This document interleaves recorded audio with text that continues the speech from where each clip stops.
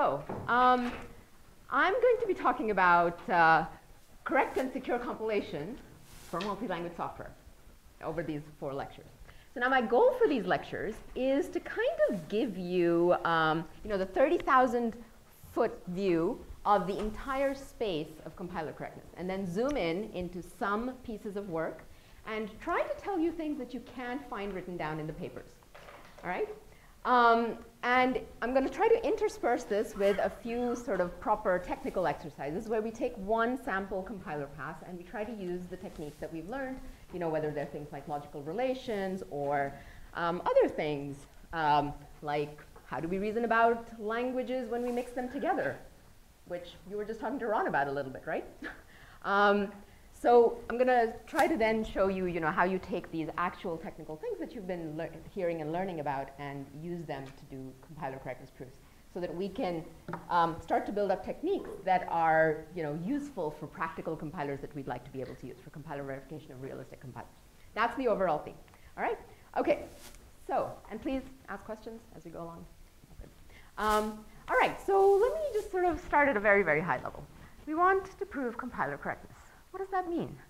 All right, well, if we have a source program S that we compile to a target program T, and by the way, throughout my slides, when you see S, think source language. When you see T, think target language, all right?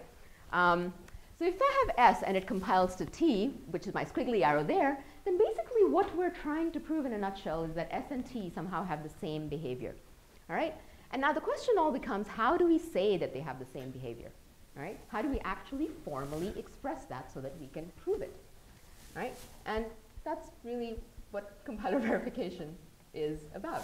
Now, let's be a little bit more precise. Throughout the literature, when we talk to each other in the community, we always say compiler correctness or compiler verification. But technically, what we're trying to prove when we say compiler correctness, we are trying to prove that the compiler preserves semantics, is semantics preserving. All right? And even that has many, many layers that you have to sort of peel away to actually understand what it is we're proving, but for now, we'll stay here. All right?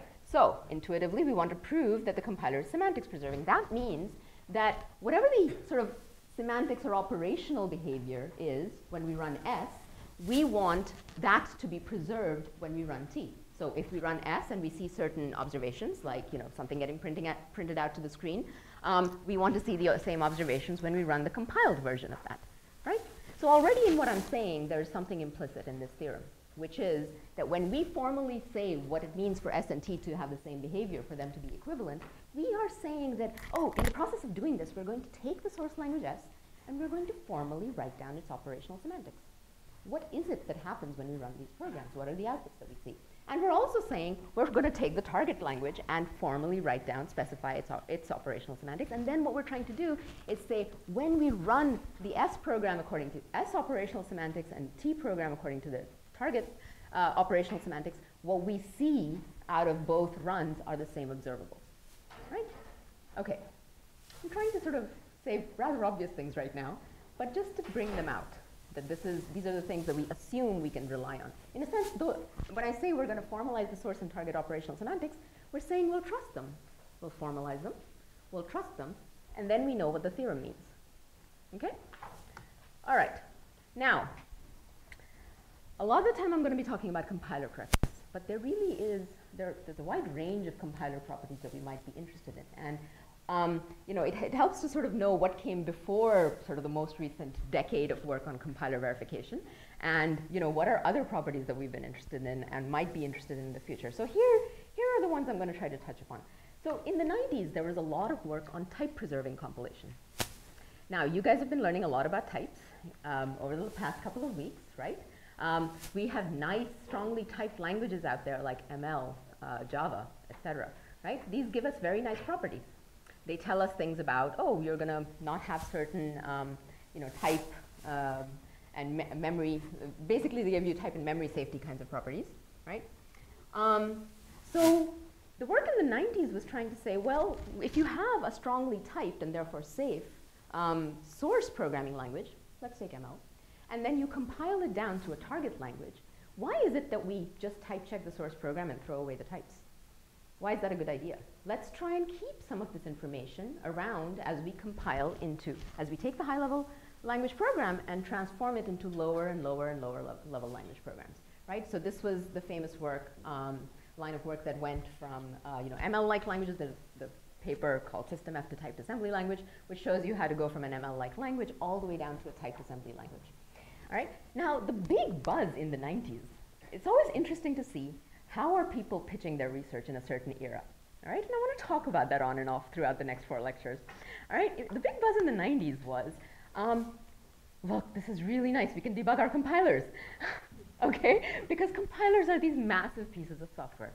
Um, if you are actually preserving type annotations, then what, you, what that means is that when you get your compiler's output, you can at least type check it. And if it doesn't type check, you can find very obvious compiler errors, right? This was, this was you know, really nice. Um, but that wasn't, I mean, a little bit flippant, that wasn't the only reason, that that was, you know, um, very nice um, as a sort of motivation, perhaps practical compiler writers. The other motivation was that types tell us properties of programs. Ron was just talking about this, right? A type system is another language, tells you something, but it says something about the behavior or the properties of the, the, uh, the term language, right? So these types tell you properties of programs, and when you have this extra information about perhaps the behavior of programs, then perhaps you can use that extra information in order to try to do optimization. So that was the other, other motivation. Um, and we can come back to, you know, some of that was true, but um, some of it, it, it, becomes difficult. There's also sort of the additional problem of having a lot of type annotations at the target level. You know, there's, uh, they grow in size and so on. Um, but we'll come back to some of these issues. All right, and then there's all the work on semantics preserving compilation. And really, you know, in a, this started out, um, well, really people have been talking about compiler verification for over 40 years now. I think it's been about 45 years since uh, seminal paper by McCarthy. Um, but the way that we all hear about compiler correctness, all of you have heard about CompCert, right? Have you? CompCert, C compiler, formally, fully formally verified C compiler, yes. All right, so the first CompCert paper was written in 2006. And, you know, since then, there's really been a ton of follow-up work. All right, so that's why I've sort of written uh, the 2000s. Um, and again, I've already said semantics preserving compilation refers to correct compilation. Now, before I go on and talk about other compiler properties, let me ask you a question. So I'm telling you that semantics preserving compilation is, is about preserving the observable behavior of a program. So we know that it's correct. And I'm telling you that type preserving compilation is about preserving just certain safety properties and so on, right? Preserving types is about preserving, I don't know, checking that the target programs that we produce have the type check, therefore they have whatever type we say they have. So if you are building a correct compiler, would you also want it to be type preserving, or do you think one subsumes the other?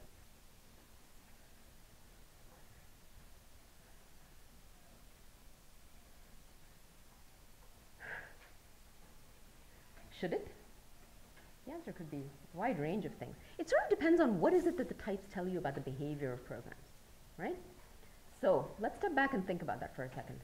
Um, so type preserving compilation is saying that if I have a source program which I'll write as ES, whose type is some source type tau s, right, and I compile it to some target program ET, then type preserving compilation says, oh, you know, the compiler is going to take all these source level type annotations and transform them somehow into the appropriate low level annotation. So a function, if this was a function, tau1 to tau2, by the time we get to assembly, the type that we will have sitting over here, which I'll write as tau s plus, some translation of the source type, um, that type will say, will somewhere in there essentially capture the fact that what we've produced is a function. But now it won't look like a high-level function. It'll look like um, a bunch of basic blocks, right? When you jump to the very first basic block, you have to provide, in a register perhaps, an argument of type tau1 right? If your source program was tau1 to tau2, then over here, the code that we're going to produce is going to be a bunch of basic blocks. When you jump to the first, the first of these basic blocks, when you start the function, you have to provide an argument of the type of some translation of tau1, perhaps in a register, perhaps sitting somewhere on the heap, right? So we can start to capture the high-level invariants or assumptions about what our programs do. For instance, if this was tau1 arrow tau2, in very, in terms of very low level um, specifications, if you will. Okay? So that's really what type preserving compilation is all about. All right, so now back to my question, which was when types, what do types tell you about the behavior of programs? This is just one thing, right? But you guys have been learning about things like polymorphism and existential types, right? And uh, I think that you have heard about parametricity over the course of this lecture, right? Okay, so parametricity, representation independence. What do, what do these things, what do um, universal types or polymorphism and existential types tell us about programs? If I have a source level program and it has our classic favorite polymorphic type for all alpha, alpha or alpha, what do I know about it? Why is it the identity function? Because you can't inspect the alphas. All right. And how do we reason about this kind of behavior? So let's say I know that this is the polymorphic identity function in the source language. And now I compile it down to the target. Is it still the polymorphic identity function? Is it still polymorphic? How do you know that assembly code won't actually look at whatever we pass in for this argument? How do you prove that it won't look at it? What I'm trying to get at is that types often give us guarantees not just about a single run of a program, which is normally what we think of as safety, but they also often give us guarantees about two runs of a program. Things like parametricity and the free theorem, this is, you know, the fact that this is always going to behave like the polymorphic identity function is a free theorem. These, these properties um, that fall out of um, type, you know, type abstraction and existential types. Um, for instance, there's the famous phrase, um, uh, okay, wait. Did anyone talk about representation independence at the summer school in the last two weeks? No. Yes? No? Not really? Ron's like, no. Okay, all right, let's, let's pause for a second and talk about representation independence. So you have seen existential types, right? I can't find an eraser.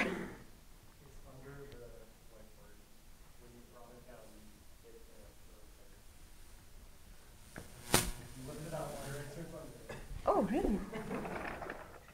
Thank you.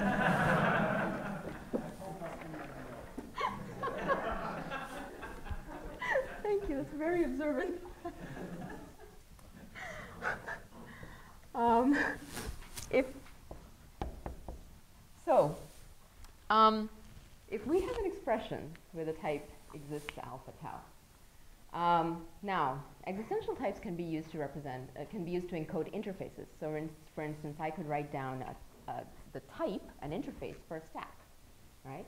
So I could say there exists an alpha, which in my mind is the representation of a stack, um, such that I have a push, you know, a push and a pop method um, the, that, you know, uh, deal with this representation of the stack. And behind the stack interface, I can hide the concrete representation of the stack, right? Now, what that means is that you are free to go implement this interface in different ways. You can write down one implementation which concretely represents the stack using an array. You can write another implementation that concretely represents the stack using a linked list, right? And when your client tries to deal with your stack, as long as your client is okay with deal with, you know, as long as your client says, I agree to respect the stack interface, that means that they will not be able to see whether you implemented the stack as an array or as a, or as a linked list, right? This property is called representation independence. And it's due to the fact that we are saying there exists an alpha, let's call it alpha stack, there exists some type that represents the, con the concrete stack, but I'm going to keep it abstract and I'm going to keep it hidden from you, my client. That means you'll never be able to know. And that means that gives us very nice software engineering advantages, right? Uh, because we can replace one implementation of the stack with another, and the rest of our large software system, which was dealing with only the interface, and promising to not look under the hood at the implementation, all of that remains unchanged and continues to work. All right? Okay, but this idea of representation independence, that these two implementations of the stack interface are equivalent, and therefore I can replace one with the other, this is a, an equivalence property, right? And these kinds of equivalence properties, or relational properties, where you talk about not just behavior of one single program, but behavior of two different programs relative to each other, or equivalence classes of, of programs, if you will. These are also guarantees that we get out of types, okay? And classic ones are parametricity and representation independence. Okay, so now back to this. If I build a semantics preserving compiler and it's correct, if I erase all of the types, then what I'm doing is I'm erasing types like those ones as well, universal types and existential types that, that exist in my source language. If I erase all of those types, so I have now erased the stack interface, I've just taken the stack implementation and I'm going to compile it down to target, what's to say that some code that I link with later is not actually going to go and inspect whether my stack is an array or a linked list? I have no way of checking that whether it will or will not, right? So types tell us more than just about whether something runs correctly. Types tell us something about equivalent classes of programs when we take a component and embed it into a much larger software system, right? So what I'm trying to get at is just building correct compilers, assuming you know they're correct compilers that erase the types and then preserve the observable behavior of your source program, is not um, does not mean that you don't get you know uh, that you don't need also type preserving compilation, which can somehow preserve the specifications or the interfaces that you had, the had at the high level all the way down to the low so that you can do some more checking there. Yes? Okay, let's say I have two different implementations. Yeah. One that uses only box types, so everything is pointer, mm -hmm. and one that also is allowed to put things on the spec. Like if I have a pair, it um, uses up more space. Okay. Now, if I, in the box uh, implementation, the same code of the identity function, actually the same code works for all types. Yeah.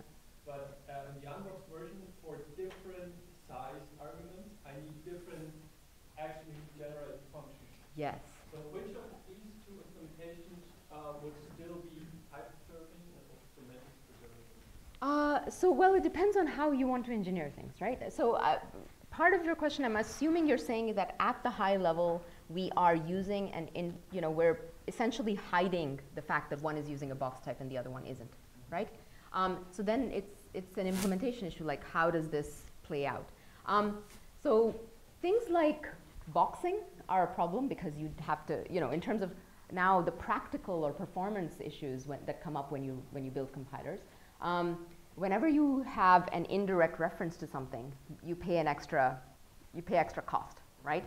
So this is something that has been an issue um, where you know, you'd like to be able to optimize that away. But anyway, that's a little bit of a digression.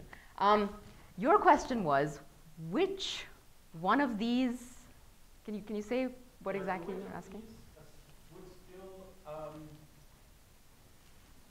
would still have these properties of type preserving compilation or semantic preserving? So you could build a type preserving compiler that if you're keeping the representation hidden at the source level, whether it's boxed or not, um, you can build a type preserving compiler that keeps that hidden all the way down to the target.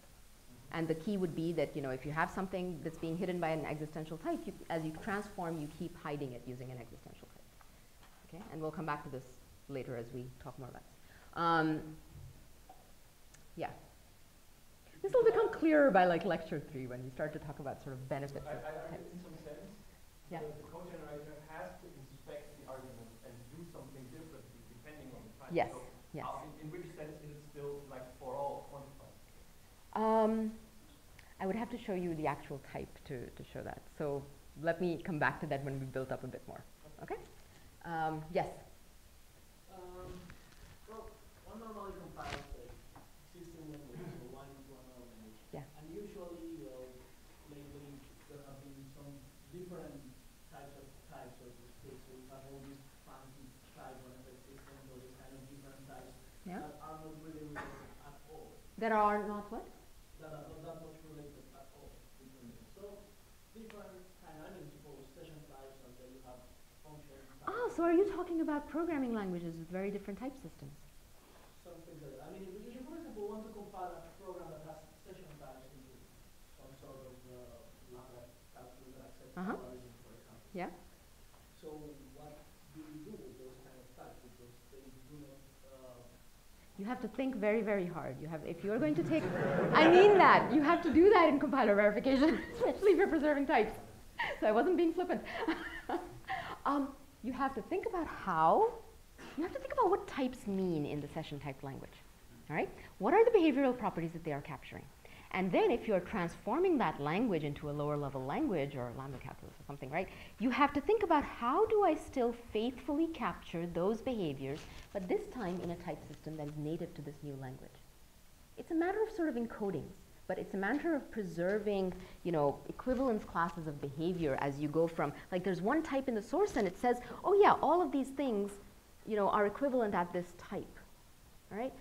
And then as you compile, you want to pick the right type so that you can preserve those properties. You can preserve the behavioral properties, right? This is what Ron was trying to get at. What, what do we know? These types tell us something about the behavior of programs. What is the right type in the other language that captures that same intuitive idea of behavior? And of course, we don't just want intuition. We can formally say these things, but we'll, we need to build up more to get there. Okay? All right. Um, okay, so semantics preserving correct compilation. Now, um, all of this discussion was sort of my lead into this next property that compilers don't, you don't just have to build type preserving compilers or not, um, or correct compilers, there's an additional property that we might be interested in, which is fully abstract compilation. How many people have heard of fully abstract compilation? Okay. My students didn't bother to put their hands up. okay, so fully abstract compilation is the property that, so here I showed you, um,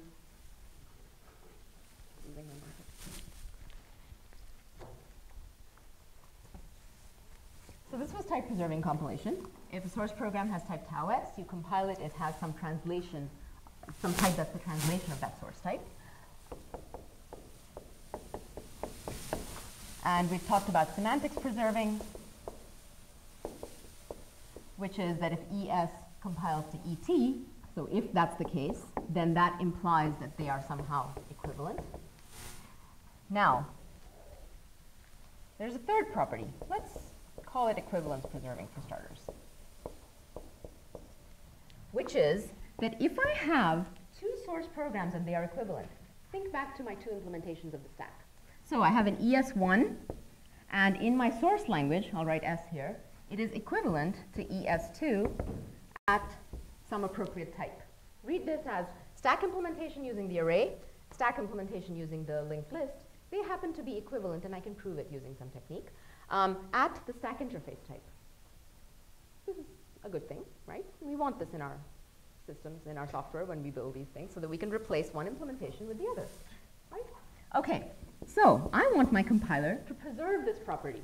I want my compiler, when I compile ES1 to, let's say, ET1, and I compile ES2 to ET2, I would like it to be the case, I would like this really strong property, that they are still equivalent in the target language at the appropriately translated type. So this somehow encodes that same stack interface, but, you know, at the assembly level, perhaps. What does that mean? Or why would you want it? Yes? Uh, so why did the semantics preserving compilation not give you that? Good question. Um, suppose that I do this. Um, so I have two stack implementations. Let, let me just, I'll give you the simplest example, which is, suppose that my compiler erases types.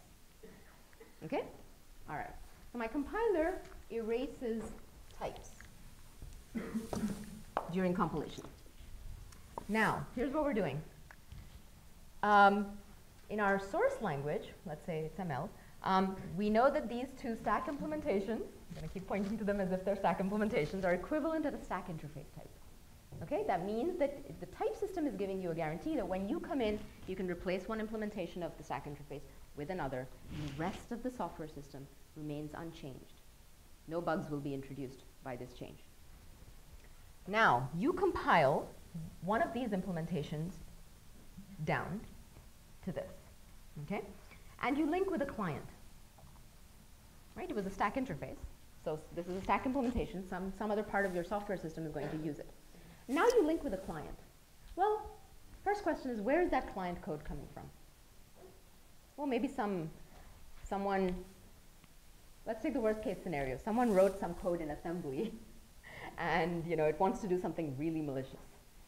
So certainly this, this code, which is now not agreeing to abide by any interface, right? I erased that stack interface representation from here. So there's nothing about types here. There are no alphas, is my point, to hide the fact that one stack is implemented as an array and the other one's implemented as a linked list, right?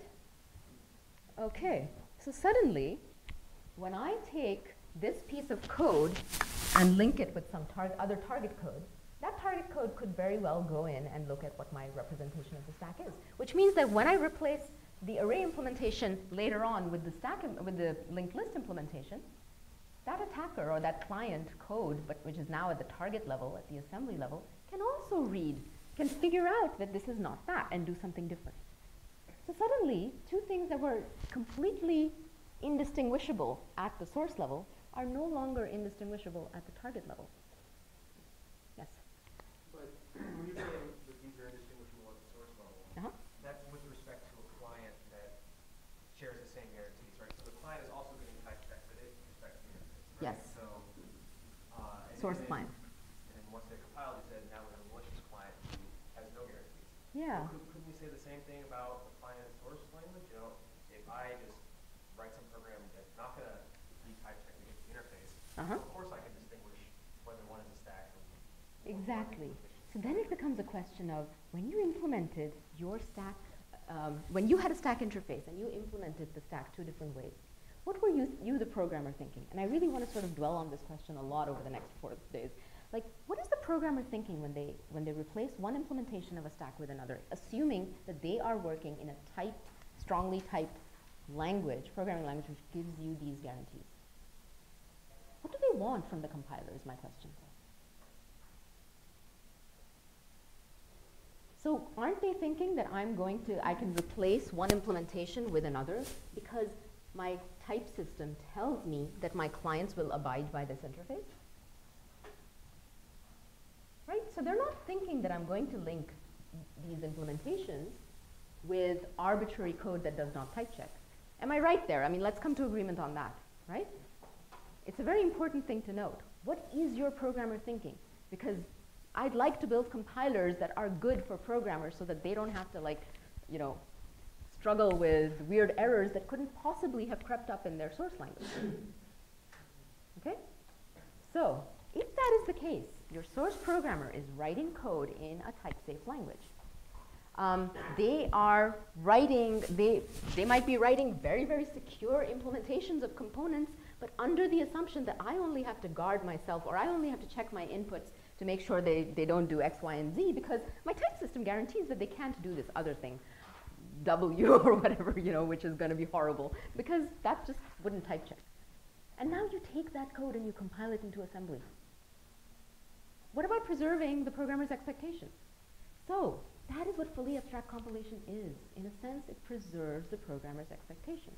It gives you the guarantee that if you are doing reasoning at the source level where you are taking, in particular, it's most interesting when you have nice, strong type guarantees at your source level. If you are doing reasoning at, in your source programming language, relying on the guarantees that your type system gives you, it would be nice if we could then preserve those guarantees all the way down to the target. And technically speaking, fully abstract compilation gives you that. It says that if two, um, if two components, I'll say components because this is, my example actually doesn't really, I, if, I, if I can't link with clients, if these are not components of their whole programs, then this property is utterly uninteresting. Okay? We'll come back to that. But if, the, if I have two different components that are equivalent in the source language, and I can reason about their equivalence, and the type system helps me reason about this, um, I would like it to be the case that when I compile those components down to the target level, and I put them inside some, in the middle of some assembly code, I link them with some target context, think attackers.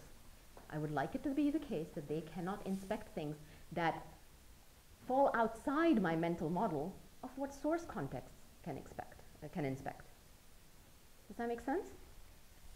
I don't want to link with target clients that do bad things that no source client could have done because when I was writing this code, I was thinking about source client. Okay? So, um, so this is a matter of equivalence preserving compilation. And when you say um, so equivalence preserving is in the downward direction, if, you're, if you have equivalence of two components in the source, then their compiled versions are equivalent in the target. Equivalence reflection goes the other way. If two things are equivalent in the target, then their uh, original versions should be equivalent in the source.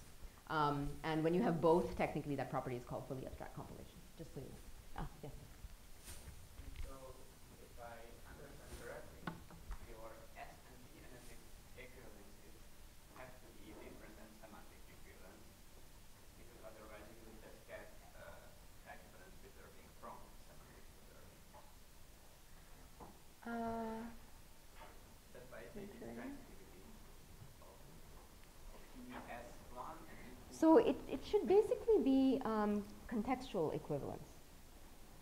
Have you guys talked about contextual equivalence? Not so much? So why can't you make your uh, equivalent which you want to preserve to be exactly the same thing as semantic equivalence? You mean the semantic equivalence that I used over here? Uh, yes, because I mean, if you preserve the semantic, then you have like an equivalent from ES1 to ES1, Uh-huh. and also an, equ- uh, an equivalent from ES2 to ES2, then you can just take the round trip by translating and Um,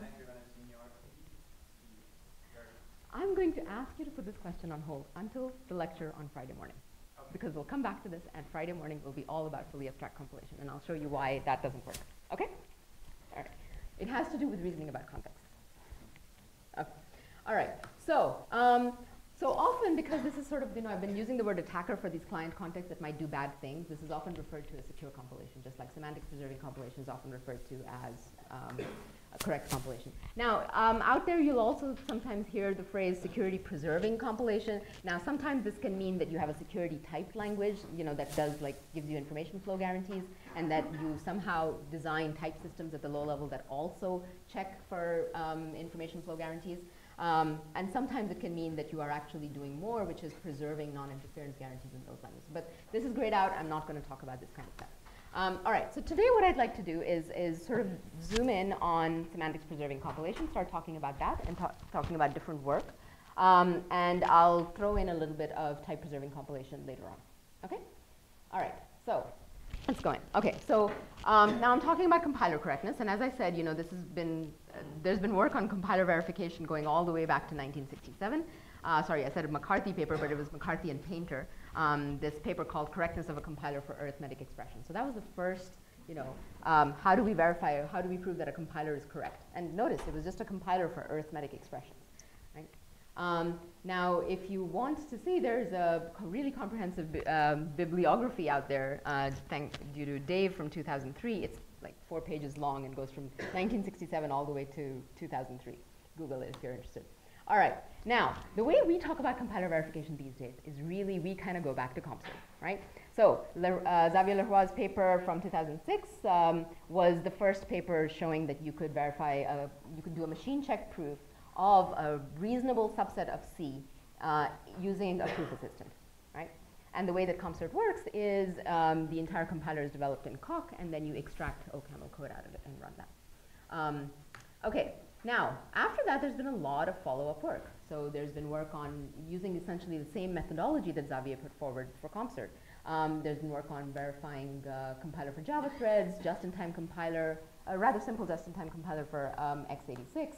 Um, the CompCert work has also been scaled up to this project, which is called CompCert TSO, um, which is about relaxed memory concurrency, that how do we compile C down to relaxed memory models.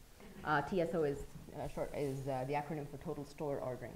Um, and this leads to interesting questions in the presence of, so CompCert does not deal with concurrency, and the, uh, this project uh, tries to, you know, basically formalize how do we reason about correctness when we have uh, weak memory models. Uh, okay, uh, and there's also been this work on Vellvm, or the verified LLVM, where um, this paper from uh, 2013, uh, they took one of the most significant passes in the LLVM backend and uh, proved correctness of that.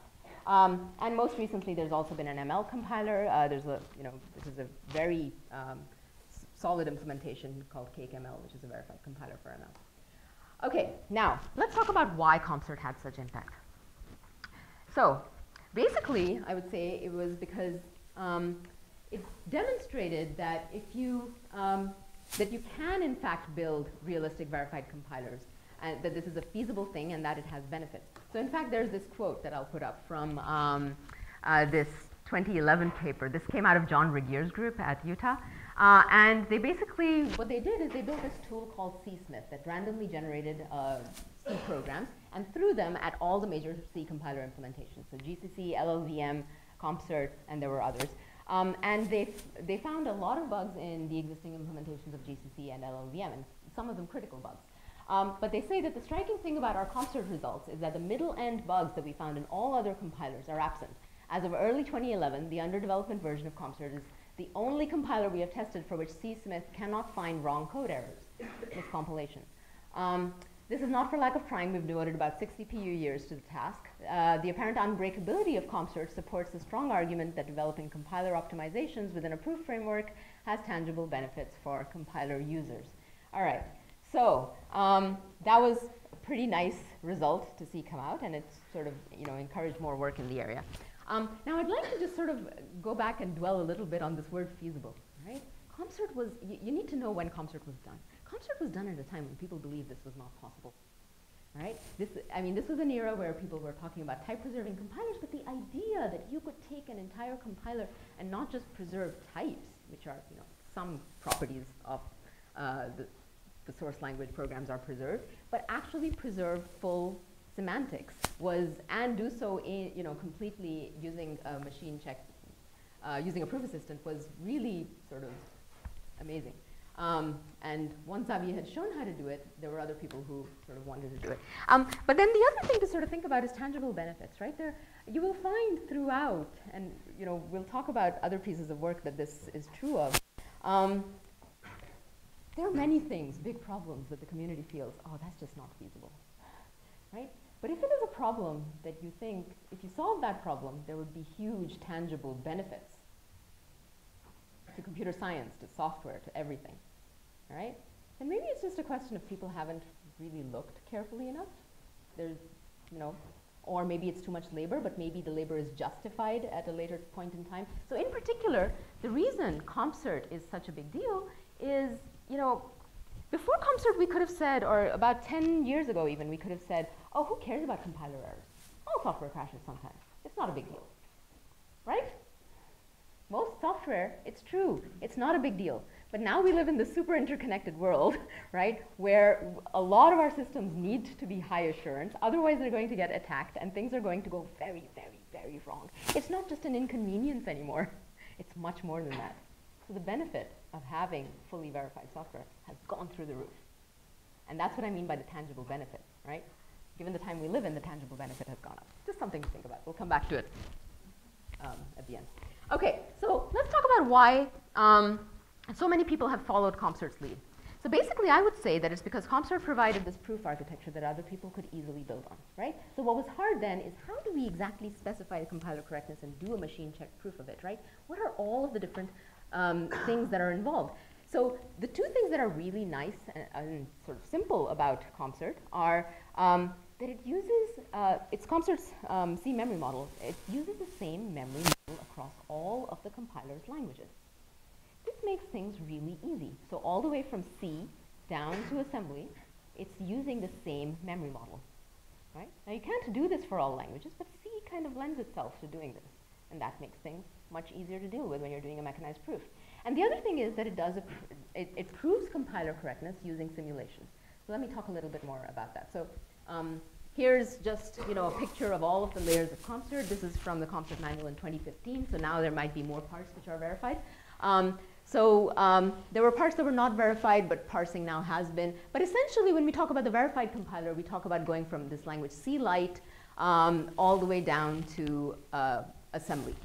And there's a layer in there, RTL, which I'll come back to later when I talk about some other papers, um, which uh, where a lot of compiler optimizations are happening.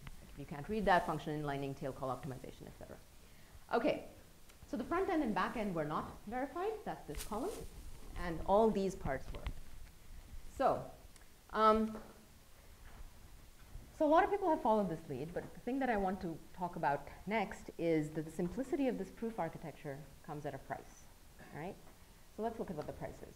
Um, basically, what CompCert gives you is a correct compilation guarantee, assuming that you are compiling a whole program. Okay?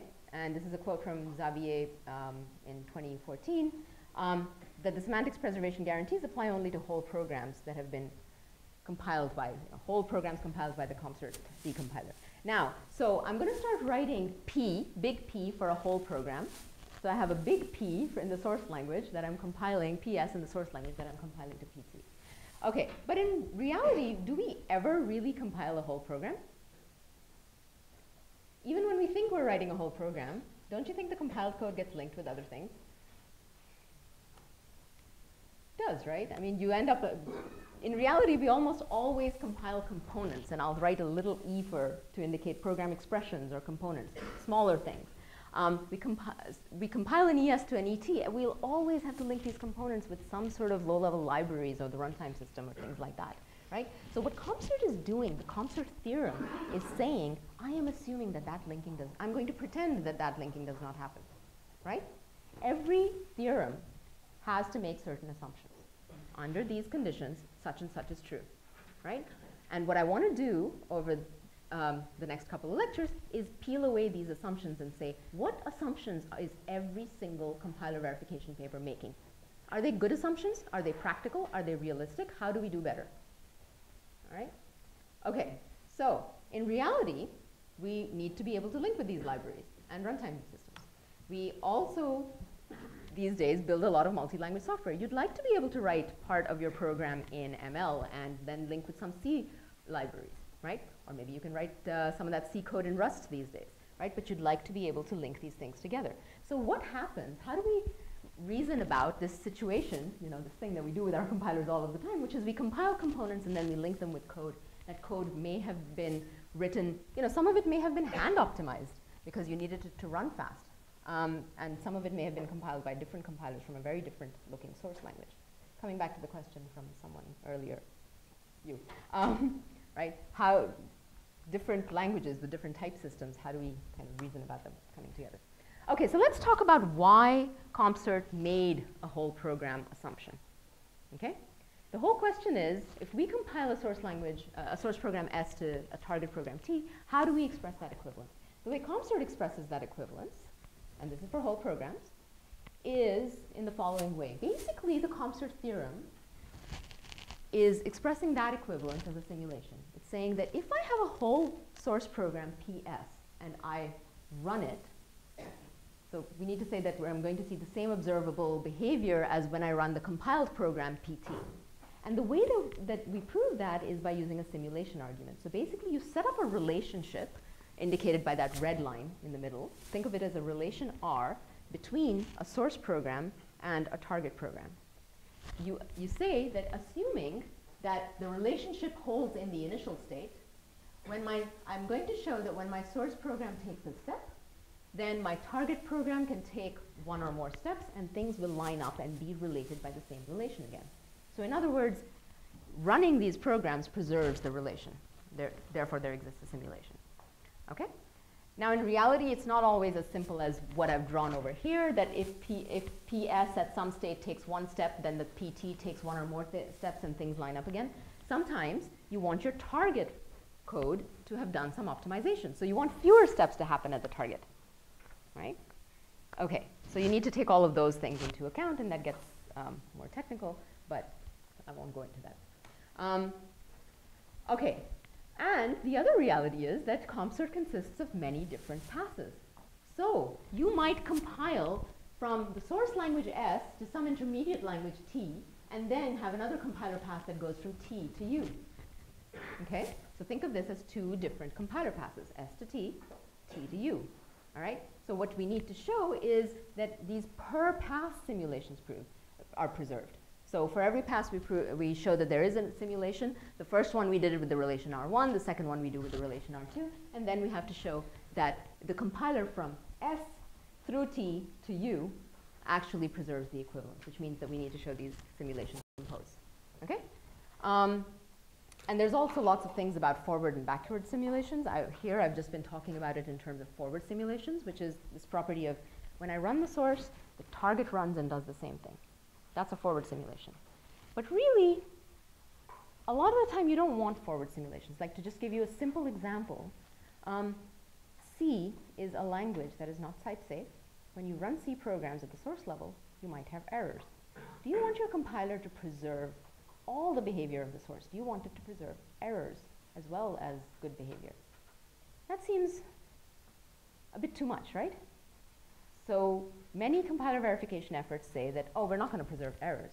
If your source program is going to just error, then why do you care what the target program does? Okay? So things like that make it, uh, make it more sensible to prove what we call the backward simulation. A backward simulation says that if the target program does something, then the source program will do the same thing. Okay? Um, and CompCert's proof is, is basically forward simulations for every single pass composed together to give you a final backward simulation. Okay, so my, my point in, in all of this information, data that I'm throwing at you is to say that there are a lot of layers to be peeled and decisions to be made in terms of how exactly do we formalize this equivalence? What is the property we're proving? Forward, backward, etc. Um,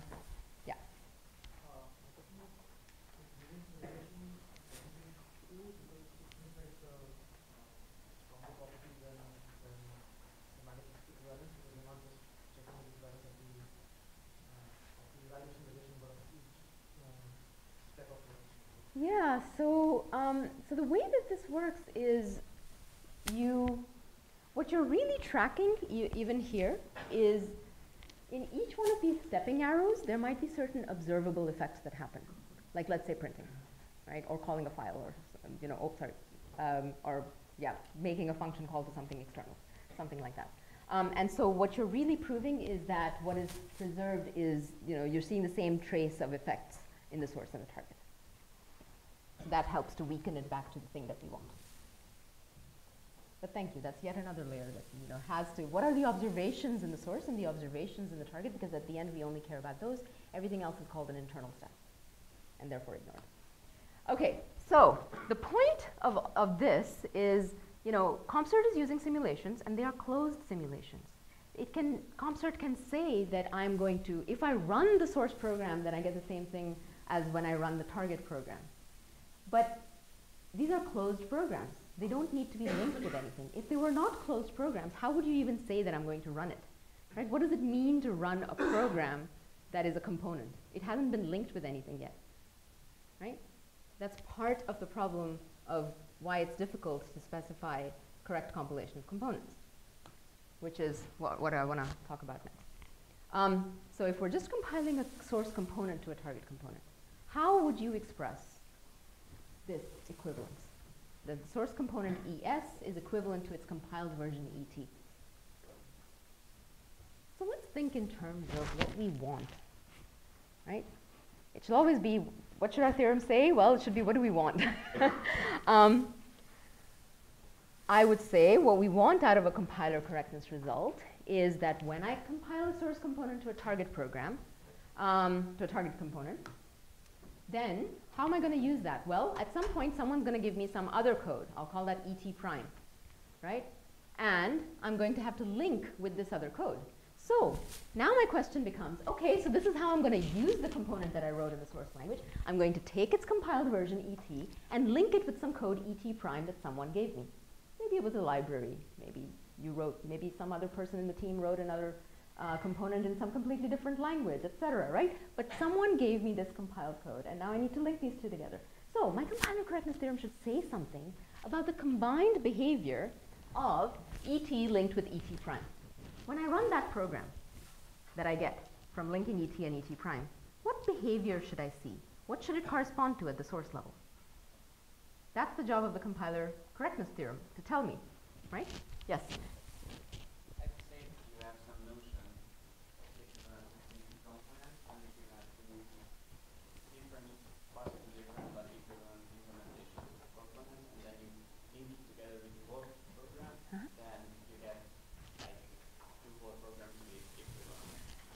So you want, so, so in my picture, you, I want to know what should ET linked with ET prime, the purple whole program that I get when I put these two puzzle pieces together. When I run that, what should that be equivalent to? Give me a statement that involves my source component, right? Or even an intuitive statement. Yes? Well, I was just saying if you say like there exists some ES prime that's equivalent to the Oh, my question mark component. Yes, if we had some ES prime that we knew is equivalent, using the same equivalence relation, right? Now this equivalence relation is talking about components. So if, if we can say that ES equivalent to ET, uh, sorry, compiler correctness is proving that ES is equivalent to ET, and what that should mean is that if I have some ES prime, my mystery question mark component, that is equivalent to ET prime, then I could say that running the purple components linked together would be the same as running the ones at the top. Right? That I what I want is to be able to see the same observable behavior when I run the top stuff as when I run the bottom stuff. Yes.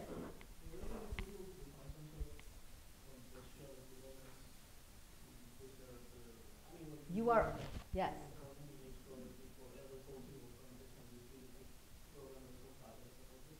Uh, yeah, so basically this is all about context, right? Because we're compiling components, the key word here is context. It is not a whole program. Tell me what I'm linking it with. What is the context that I'm putting it into? At the target level, we know that we're putting it into some target context.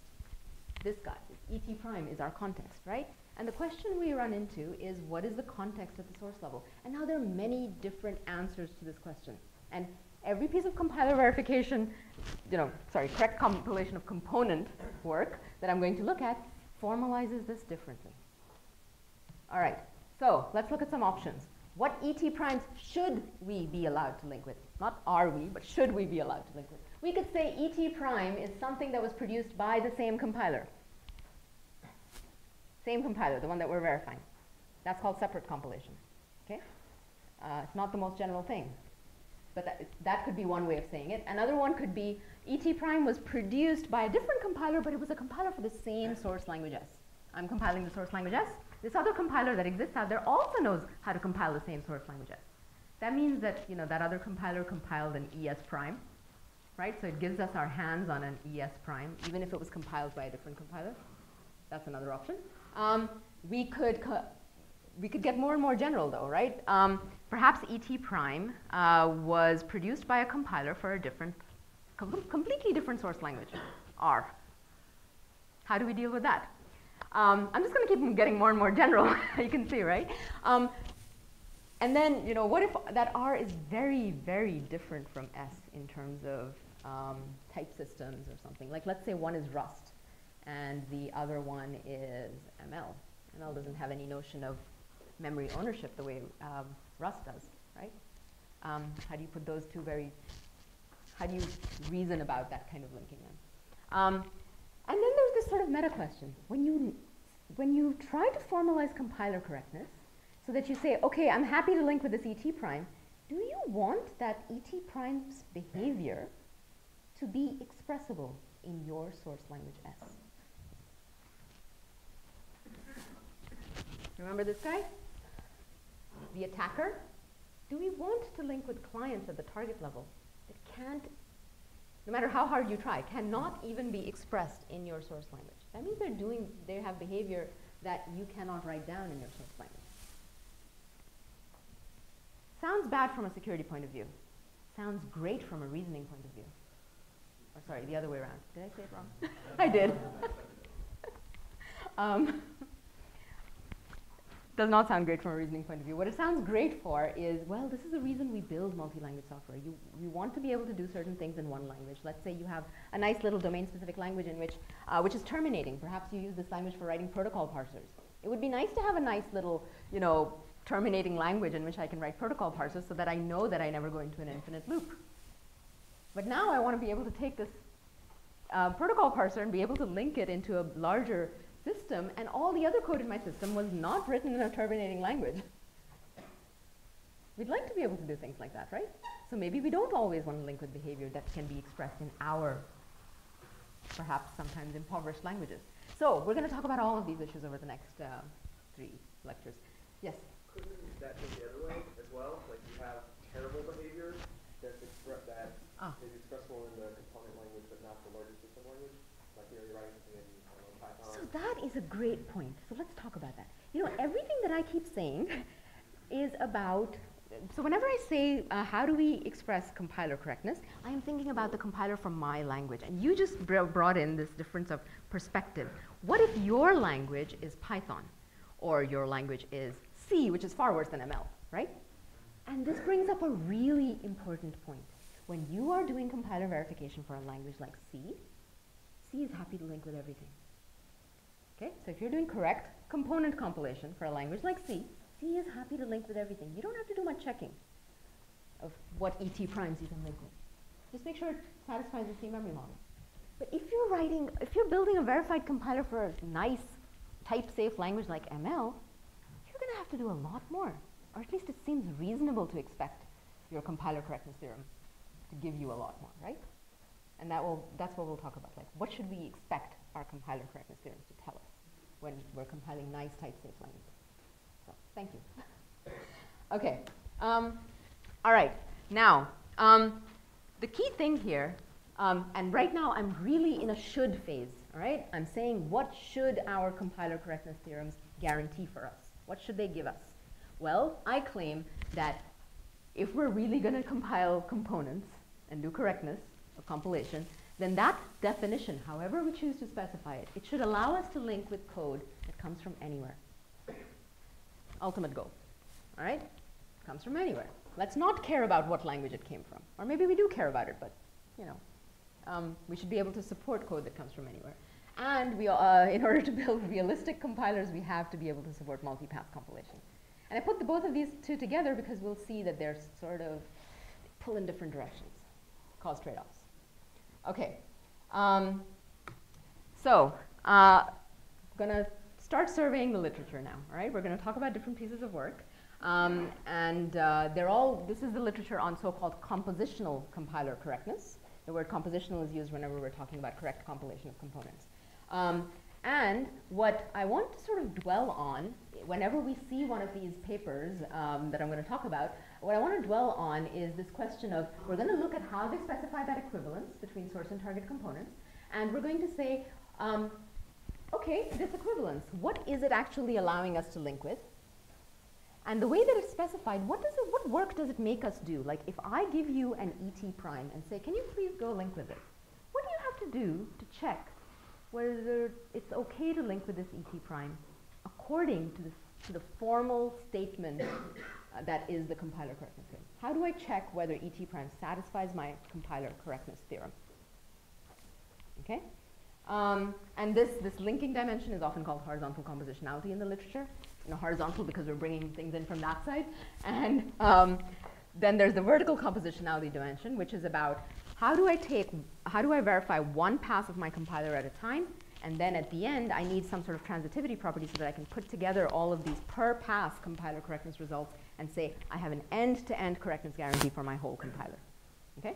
So that dimension is called vertical compositionality. It's all about transitivity for multipass. Um, okay, now, um, some of the things we're going to see is, you know, I've already said this, how we specify that equivalence, um, it has, it constrains what we can link with, uh, how we check if some ET prime is okay to link with. Um, but something else, it, it affects the effort required to prove transitivity, as we'll see. Um, and the other thing we're going to dwell on is how much effort, if someone submitted a compiler verification paper to POPL, and you were reviewing it, you have a compiler correctness theorem somewhere in the paper. How do you check that it's the right theorem. Okay? What do you need to understand and trust in order to have confidence in the theorem statement? That's important.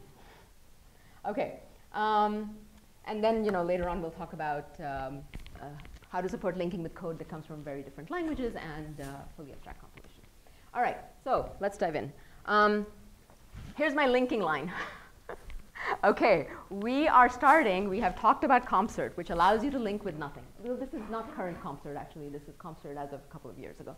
Um, and I'm slowly going to talk about work that allows you to link with more and more. All right? Um, now, I said you could link with things that come from the same compiler. So one instance of that in the literature is this work on SEP CompCert for separate compilation. Uh, it basically takes CompCert and uh, generalizes the theorem so that you get a separate compilation guarantee. As long as you compile that other ET prime with the same SEP CompCert compiler, you can put them together and you have a compiler correctness guarantee. Okay? Um, more general, how do I link with some ET prime, this other code, that came from a different compiler but was compiled from the same source language S? Okay? And I would call the Pilsner work uh, from 2015 um, an instance of that, and I'll explain why.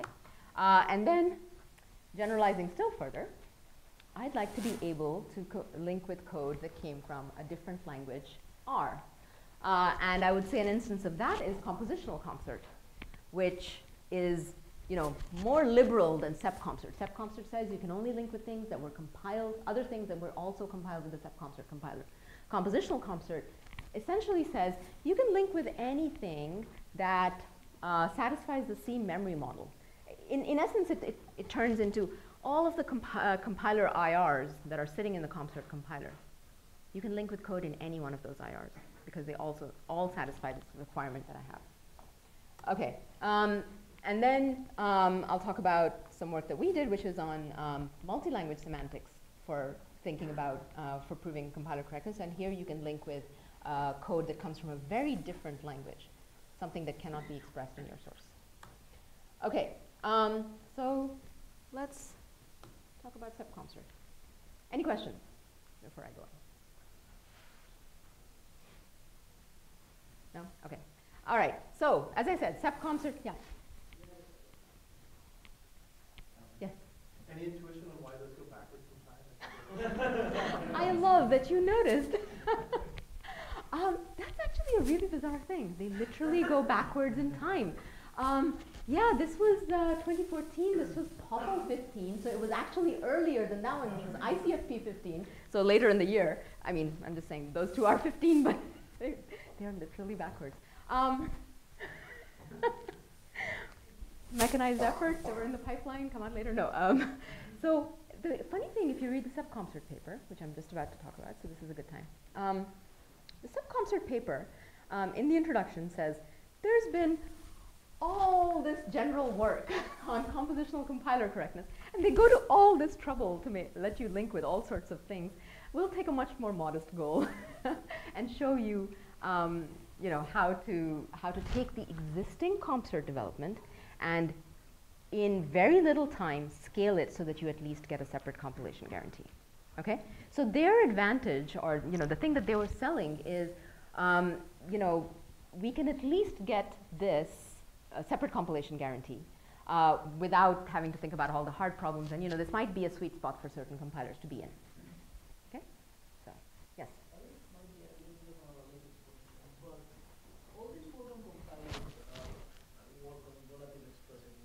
Yeah. And it's only similar. So, I mean, you also find the same kind of theorems you want.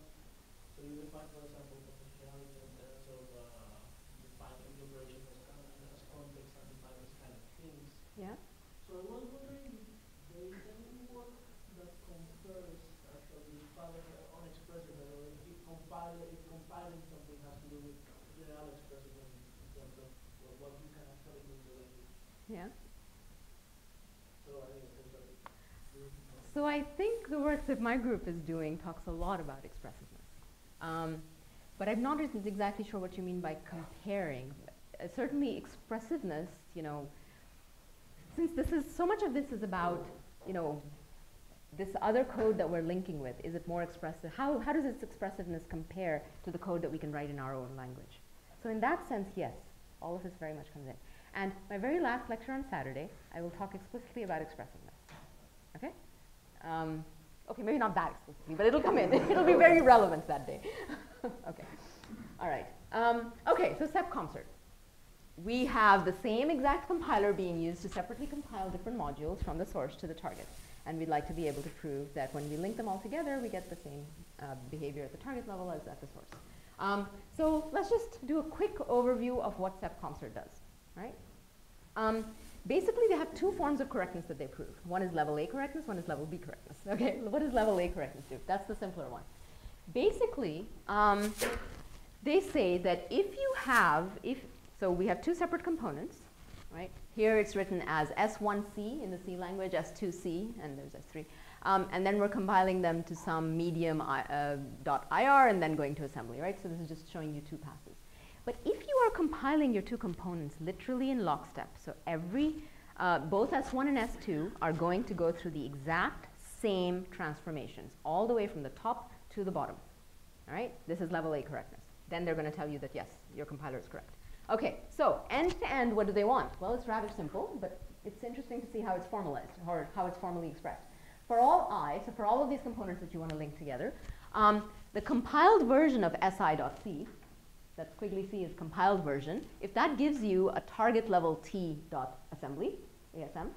Um, then we're going to say S is what we get if we load all S uh, all 1 through n S components together, and T is what we get if we link and load all of the T ones together.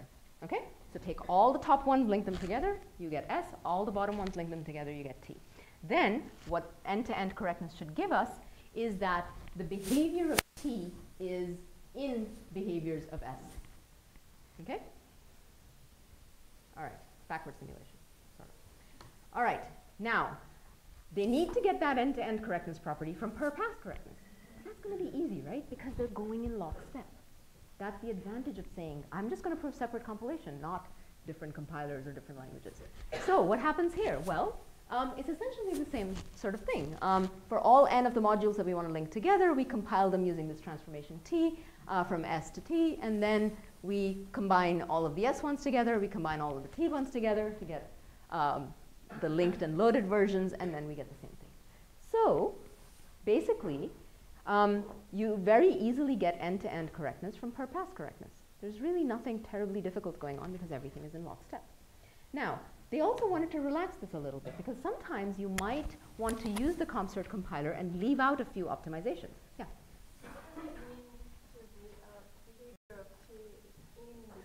Ah, okay. So let's think of that as if I run the behave T and behave S should be thought of as follows. If I take this uh, program S, which is the linked and loaded version of my source, and then I run it using my source operational semantics, what behaviors do I see? That's the set behave S.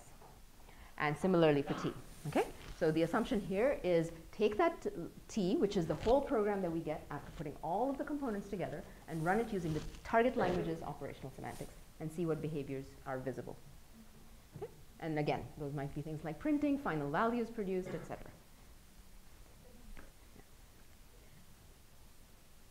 Okay. Um, all right. Now, sometimes you might want to run the CompCert compiler without doing all, you know, leaving out certain optimizations. Okay? So they wanted to support a slightly stronger theorem as well, and that's what level B correctness is about. Um, basically, it says that you remember that RTL pass. RTL is one of the intermediate languages in the CompCert compiler. And I showed you that there were a whole bunch of optimizations happening within that language. Um, and so level B correctness basically says, how do we leave out some of these optimizations? Uh, and this is sort of interesting because, so, so here you can see, you know, we're going to do certain transformations for some, on some components, but not on others. Um, and the way that the end-to-end -end correctness is, is pretty much what it was before. If we have a whole bunch of 1 through n modules that we compile from source to target, we, when we load them, we, behavior of t should be a subset of the behavior of s. Um, but the per pass, of course, is going to be different right? Because some passes are doing some of these RTL optimizations and some of them aren't. By the way, both, all the modules are being compiled through the same passes all the way down to RTL. It's just that when we get to that RTL phase, one, you know, one module might be compiled without certain optimizations while the other one might be compiled with. That's the only place where we, can, we are allowed to have a mismatch. Okay? Um, and here, basically, what they do is they say that if um, in the per pass phase, this is only for RTL, um, if we link together, so you see S is equal to the load of, I have a bunch of U1 through UMs, and then I have one S. Notice how I'm using exactly the same, I'm keeping all the modules the same, except for one. Right? So you're in an RTL pass, you have all of these components, one of them is going to potentially use the optimization. All the others are going to be identity transformations.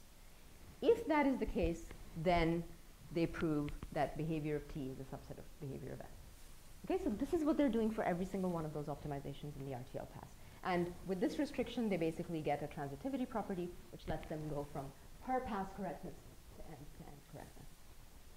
Okay, sorry, this is getting a bit dry, but um, Okay. Any questions on any of that? Yeah. So the reason the font is exclusion, subset exclusion, because behavior are the behaviors that are okay, if you're okay with. Yeah. Um, so, so the way we say it is every behavior of T should be a valid behavior of S. Now that almost sounds like the opposite of semantics preservation, right? Where I was saying if S behaves in a certain way, then T should behave in the same way.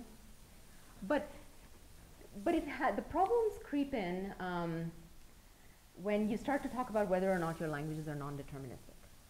Okay, so if your, um, let's say your source language is non-deterministic, that means that source language can have many different behaviors. So that means that when you compile, you only want to preserve one of those behaviors, right? Right? Source language is non-deterministic. When you run that source program, you can see a whole bunch of different behaviors. Which one is your compiler promising to preserve? Can't preserve all of them in one run, right? Okay, so that's why we sort of want the backward notion. We want to say, all right, source program has a bunch of behaviors, target program has a bunch of behaviors. Let's say that's also non-deterministic. So when we take that compiled target program and we run it, we see a behavior. Is this one behavior out of many, because my target is non-deterministic, is this one behavior that I just saw one of the possible behaviors that my source allowed? Makes sense, right, when you say it that way? But it has to do with non-determinism. That's why we get the subset relationship in that direction. And so it always depends what compiler, your, the compiler that you're verifying, what are your languages? Are they deterministic or non-deterministic?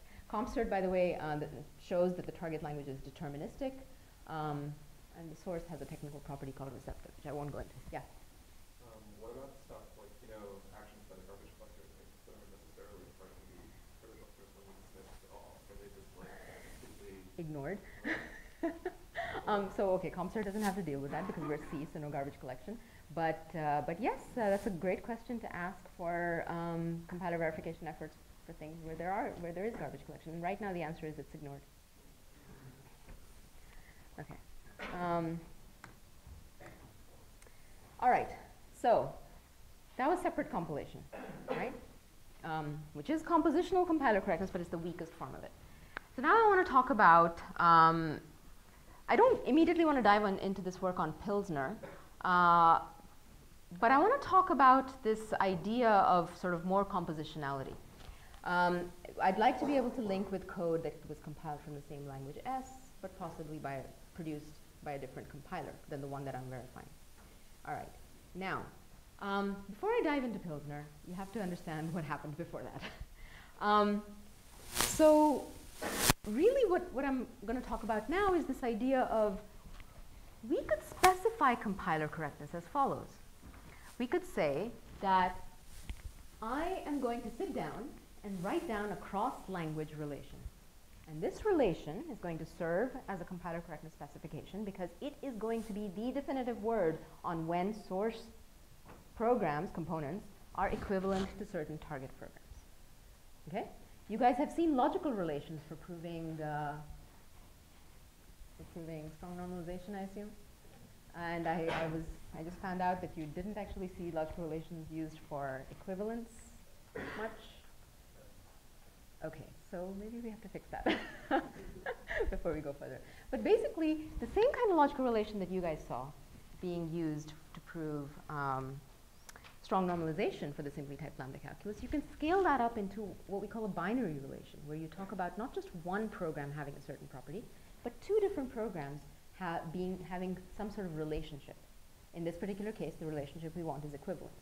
Okay? So logical relations, these binary logical relations, which talk about two programs having a property, um, are often used to prove equivalence of programs. Okay? Um, and here I'm generalizing that just one step further and saying that we could write one of these logical relations, these binary logical relations, um, but instead of saying, uh, instead of specifying a logical relation which says one pro, you know, an expression in source in language S is equivalent to another expression in language S, I'm going to say, oh, I, I'm allowed to put a different language on one side. So I'm going to create a relation between source language programs and target language programs. That's why I'm calling it a cross-language relation. All right. Now, the background is um, that um, before this work on Pilsner, the reason I put the Pilsner work on my linking line um, is because Pilsner is a multi-pass compiler. And it uses this sort of cross-language relation idea. You specify compiler correctness by specifying a relationship between source and target components. Um, but it was preceded by work um, on single pass compilers that made use of logical relations um, to prove correctness in this way. And what I would like to do next, what time do I have to stop?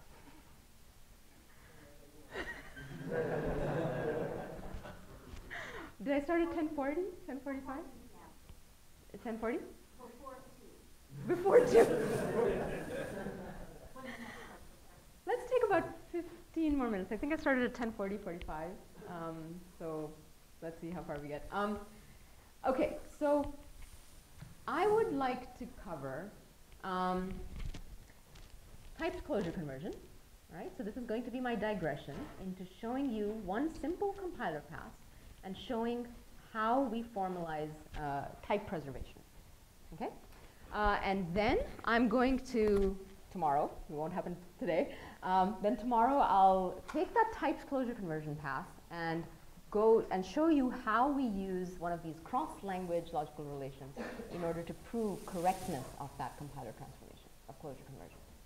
Okay?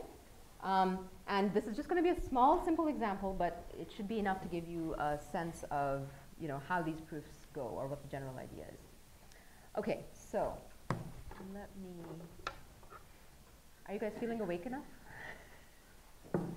Yes? Pre-lunch slot, not so good. Um, all right, let's do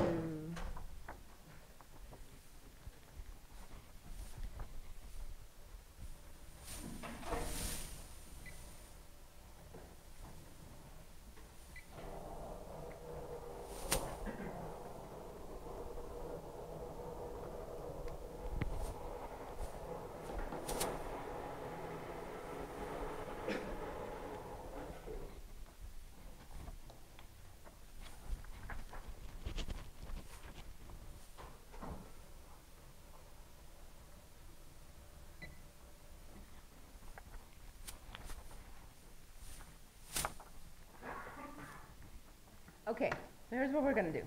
We're going to take very simple language, the simply typed lambda calculus, right? And we're going to do this path called closure conversion. So let me start out by talking about what closure conversion is about. Um, basically, the idea is that you, let's say we're compiling an ML-like language, simply typed lambda calculus, right? So what you want to be able to do is take any functions that you have in your program and turn them into closed code. Basically, you don't want there to be any free variables in the body of the function. So let me give you an example. Suppose that I have something like um, um,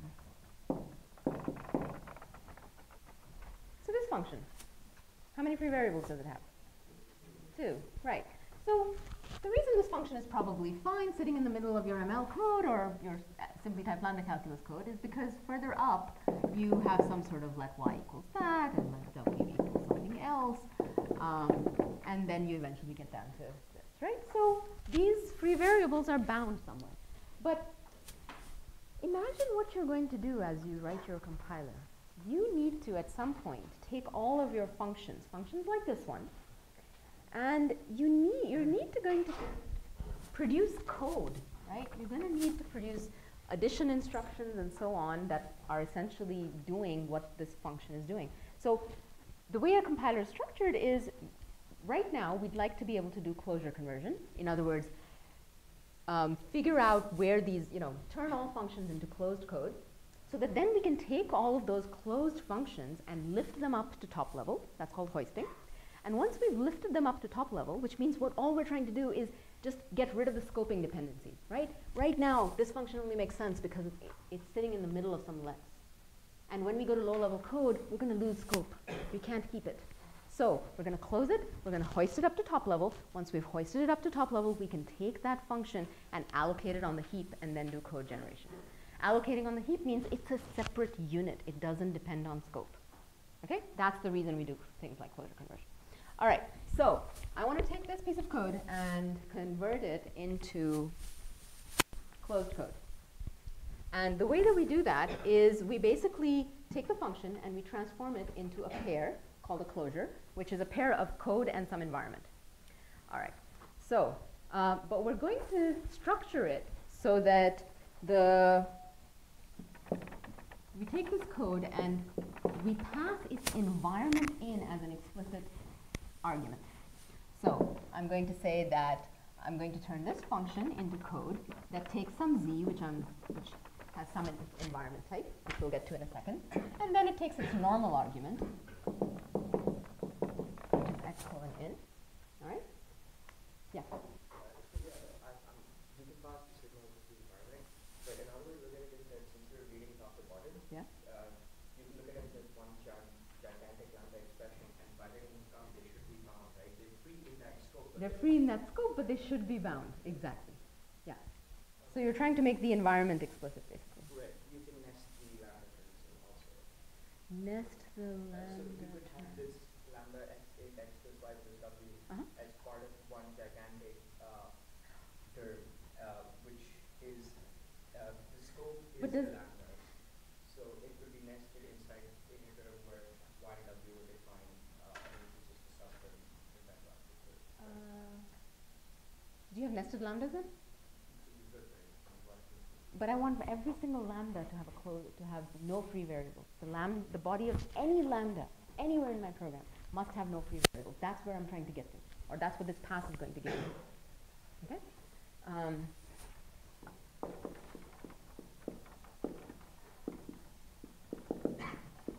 okay, so that's the key thing. Every single lambda that we end up with after this pass must have no free variables in its body.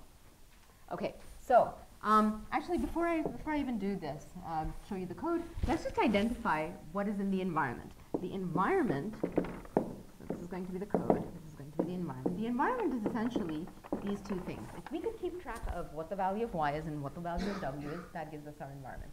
Um, now, what I'm saying here is I'm going to take the function and convert it into some code that takes its environment as an explicit argument. All right, and then here in the body, I'm going to transform the body so that all references to the formerly free variables are now references to the same things which I'm going to pull out of the environment. Okay?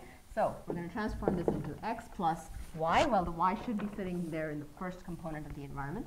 So I'm just going to project do pi 1 of out of the environment. Okay? And to get w, I'm going to project the second thing out of the environment. Okay? Now, I have code and I have an environment. In order to create a closure, I pair them up together. So here's the closure I would produce for this particular function. And that's a pair or a tuple. Okay? Right. Um, now, here's the situation I'd like you to pay attention to. Um, here we have a function. What is the type of this function? Have I told you enough to, for you to figure out the type of the function? Depends. Hmm? Now let's assume that y and that this is all well typed, and therefore we know that here in some gamma, y is an int and w is an int. Okay, so clearly it's an int-to-int function.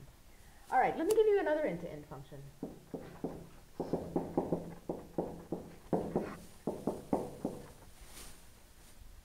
How many free variables does that have? How many free variables does it have? Zero. X is bound. X is bound right here. That's not a free variable. Right? So it has zero free variables. All right, let's produce the code and environment for that. The code is going to be tau n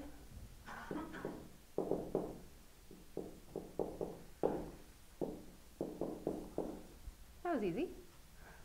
And what's the environment going to be?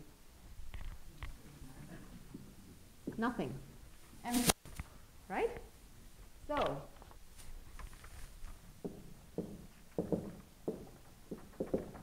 so when we produce our code and environment pair for that, we, we get an empty environment there. Now, here's the next exercise.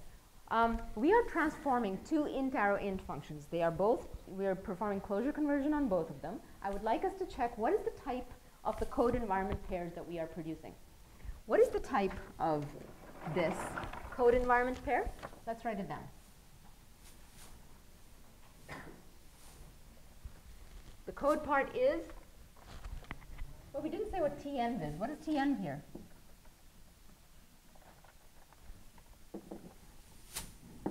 It's a tuple of two integers. Right? This is what Tn is. What is Tn here? Empty tuple, I'll just write it like that, right? Okay, so now that you know that, help me figure out what the type of this is, and then we'll figure out what the type of that is. The type of this is a pair of two things, the first of which is a function, a function that takes tau n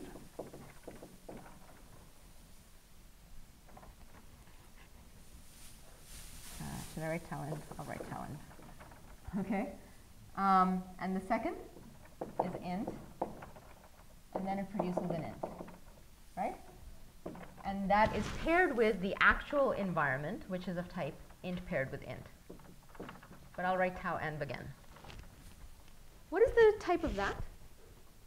Well, by the way, tau n is int paired with int. Very important, right? In both of these. What is the type of this? Time tau env is empty, right? So it's empty int to int paired with empty.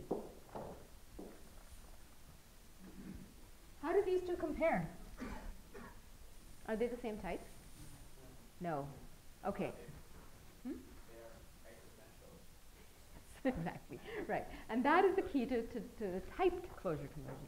Basically, you want to preserve types through this pass, it's nonsense for us to take two functions, two different functions of type int to int, and turn them into two different functions whose types don't match.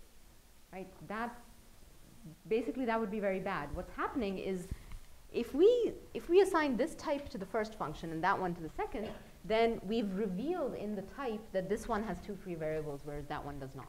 Right? And information about how many free variables a function has is not relevant, so we need to hide it. So we can abstract using an existential type, we can abstract over this, this tau n and hide it. So basically what we're going to do is we are going to assign both of these the type. There exists an alpha, which is the environment type, such that um, we are going to produce a function that first takes something of environment type, then takes an integer, produces an int, and pair that up with the environment, which is, again, of type alpha n. Right? So basically, everywhere that I had tau n, that was the similarity between them, right? And we are going to hide what tau n did. This is very much like hiding whether a stack is implemented, it's represented as an array or a linked list, right? Here we're hiding what is the environment. So using existential types to do that. So this trick of how to do type closure conversion properly so that you can hide that difference um, is due to um, Minamide, Harper Morrisett. Uh, it was a paper from uh, POPL 96.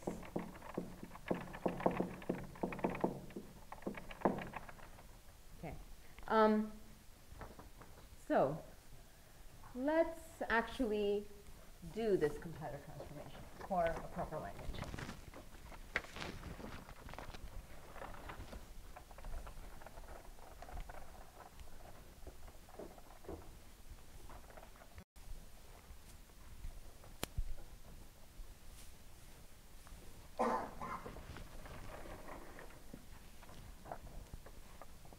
All right, so my source language is just going to be simply typed lambda calculus with um, integers. Sigma, my language of types. I can have integers and I can have functions. Okay? Um, now let me tell you what the values and expressions in the language are. So variables, numbers, lambdas, and application. Sorry, that is most certainly not a value form. Um, expressions are all of my values, and uh, for integers, let's give ourselves an if zero instruction. So we can test if an expression e is zero. If it is zero, we'll do e1, otherwise go to the else branch, which is e2. And then we need application. e1 equal to e2. Okay? That's my source language. Very simple. Um, Now, what do we need in our target language?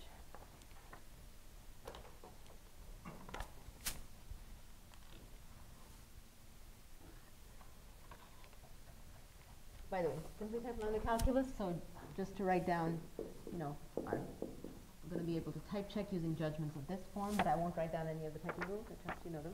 Um, and we'll assume this is a call by value language. Did you guys cover evaluation contexts and things like that? Assessment? Okay, good. All right, so we're just going to assume that this is a call by value language and the operational semantics is specified in the normal way. Now, how about the target?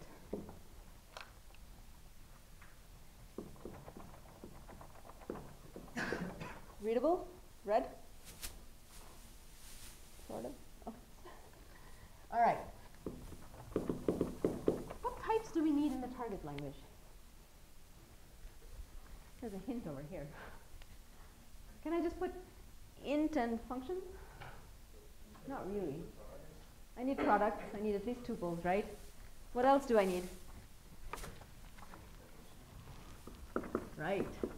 So I need, and I'm going to give myself a multi-argument function.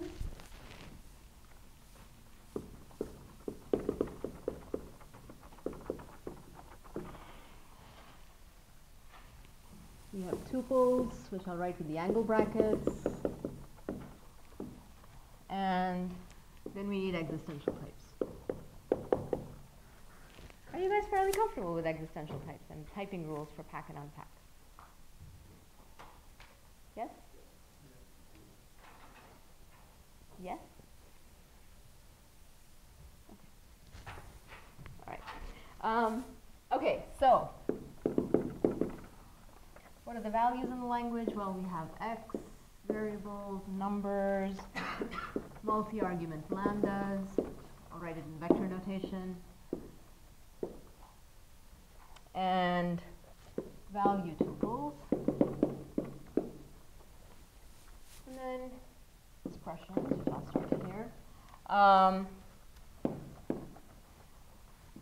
values if 0, e, e1, e2. Multi-argument application. So we write it as e applied to a vector of arguments, several arguments. Um, we have tuples, projection from tuples, which I'll just write as project the ith element from some expression E. Uh, and then, of course, we need pack and unpack. I didn't write down the pack value form. So we will need pack um, tau v as exists alpha tau, but I'm also going to, since I structured it this way, I also need to give myself expressions.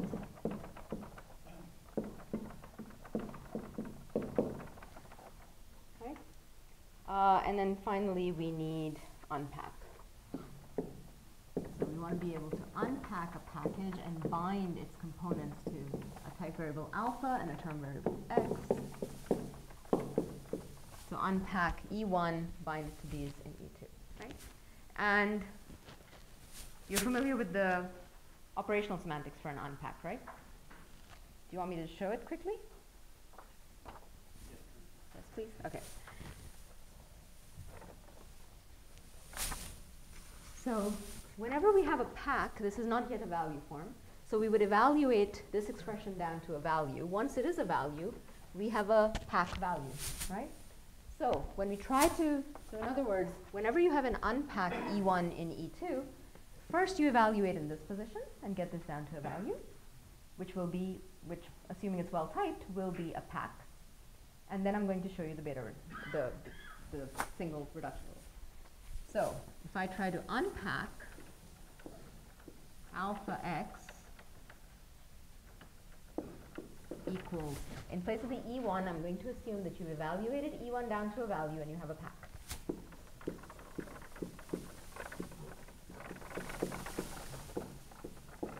I'll leave off the exists alpha tau. It's just in E2. The way that this takes a step is you extract the tau and you bind it to alpha, and you extract the value and you bind it to x, and then you substitute in this E2, because E2 is allowed to have alpha and x free in.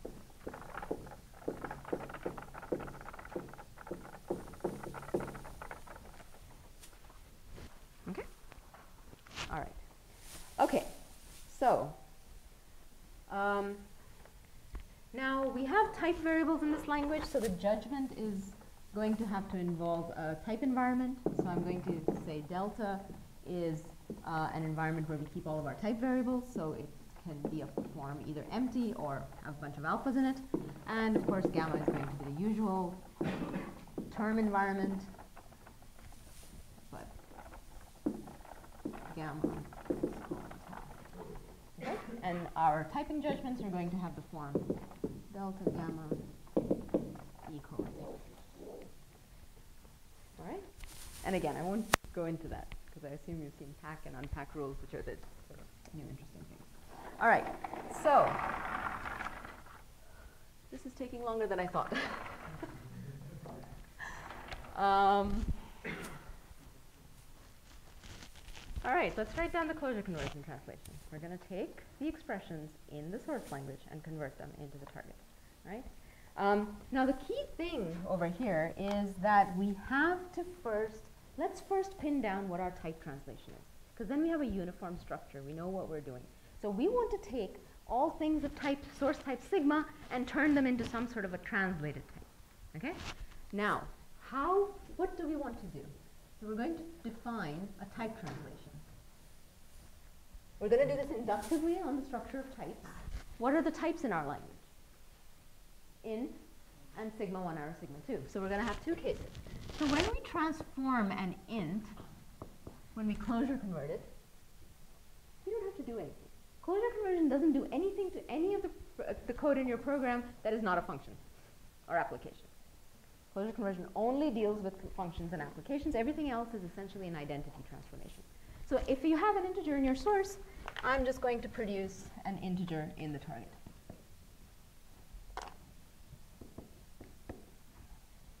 Okay? Um, now, if we have a function, sigma 1 arrow sigma 2, in the source, how do we transform that?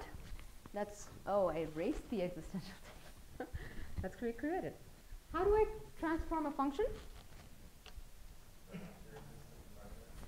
There exists an environment variable. I'll put the env here to remind us. That's what it represents, the type of the environment. And then, now we're going to have a tuple. It's going to have two things in it. First thing's going to be a function that takes, first it takes the alpha, the environment, and then it takes the translation of sigma 1. Uh, these shouldn't be angles, they should be round. Okay, and gives us back. And what is that?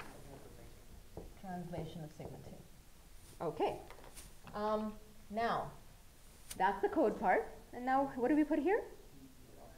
The environment. Okay, so that's our type. All right, so now that we have that, we can start uh, translating expressions in our language, in our source language, into closure converted expressions in the target. So the way that we're going to do this is we're going to do it by induction on typing derivation. Right? So for every single construct in that language, we're going to produce the appropriate. So let's just, uh, well, let's talk about the overall form. Basically, we are going to take a well-typed E colon sigma and compile it, closure convert it, into some E, target level, right? And this target level E, when we are done, what we want to show so this is, this is what we're doing. This is our compiler, our type preserving compiler. But when we are done, what we want to show, we want to show that types are preserved.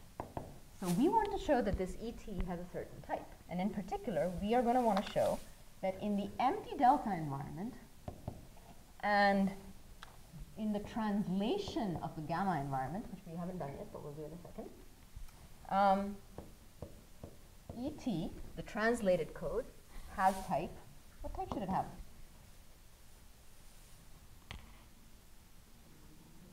Translation type. Okay, that's what we're after. That's what we want to show. So in fact, we want, we're going to try to do the translation so that this is always true. It's going to help us write down the translation. Um, but technically, this part will be a lemma we prove after we have actually given the translation. Uh, okay, so I said that we didn't talk about what gamma plus is, so let's define it. It's easy. You take an empty environment and you turn it into an empty environment. Uh, take a non-empty, sorry, sigma, and you plus it into a gamma plus paired with, I'll write it as a red variable of type, of translation type. Right, so it's just the obvious thing. Take your variable, give them translation types. Okay, now, um, yeah, I'm thinking maybe I should stop here. I have gone over enough. We'll continue from here tomorrow. Um, we'll finish off the type translation and then we'll um, talk about a logical relation for proving correctness of this. Okay?